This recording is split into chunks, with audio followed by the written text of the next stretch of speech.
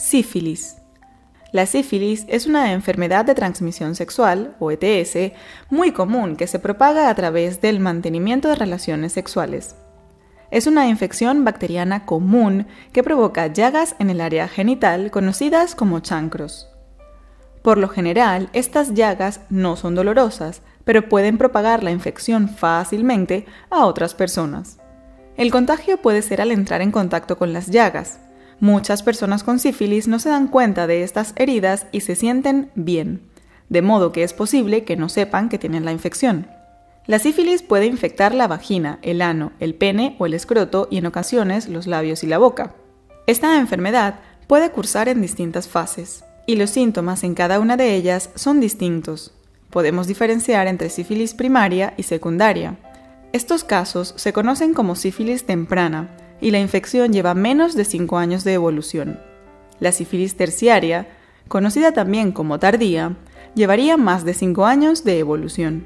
En el caso de la sífilis primaria, el síntoma principal es el chancro, que se produce en el lugar donde la sífilis entró al cuerpo. Es una lesión no dolorosa que evoluciona de mancha a bulto y posteriormente se ulcera, es decir, forma una lesión abierta. La sífilis secundaria puede producir síntomas variados. Los más frecuentes son las lesiones en la piel, que pueden variar desde manchas simétricas en tronco y extremidades, incluyendo palmas de las manos y plantas de los pies. Puede haber otras manifestaciones como fiebre, dolor de garganta, malestar general, pérdida de peso, etc. La sífilis latente es asintomática, aunque existen marcadores serológicos de la infección. La sífilis terciaria se produce pasado varios años de la infección. Compromete la salud de los órganos vitales como el corazón, hígado o cerebro y puede afectar al corazón o al sistema nervioso central. La sífilis congénita se puede transmitir de madre a hijo durante el embarazo y el parto. En el momento del nacimiento puede ser asintomática y si no se trata producirá complicaciones en el niño o niña. La sífilis es una enfermedad causada por una bacteria llamada Treponema pallidum.